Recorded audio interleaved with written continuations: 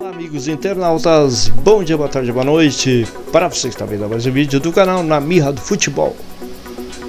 É, Rodrigo falou sobre sua alegria, seu sonho de estar jogando pelo Real Madrid, da torcida gritar o nome dele e do momento mágico que ele vive no clube, marcando seus 50 gols. Repórter de uma TV espanhola o entrevistou. Vamos ver o que falou Rodrigo, o brasileiro ex-Santos, pelo clube Merengue. Contento, eh, fui feliz en la jugada, la finalización, bueno, fue un golazo. Y Rodrigo, tu gol número 50 con esta camiseta, ¿cómo es de especial eso? Nada, muy especial, la verdad que era una meta que tenía de llegar luego a los, los 50 goles con esta camiseta, muy contento porque ha salido hoy y bueno, ahora quiero mucho más.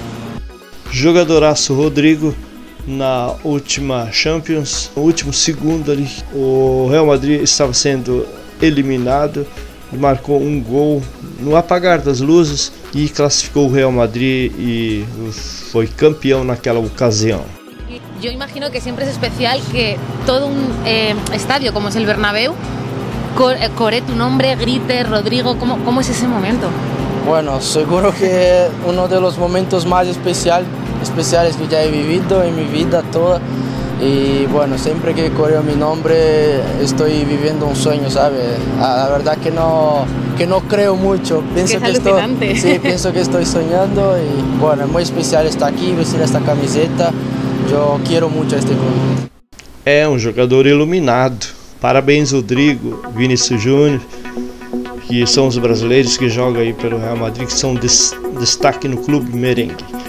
E o Real Madrid joga hoje, ah, em terça-feira, às 17 horas, contra o RB Leipzig pela Champions. Um abraço a todos, até o próximo vídeo.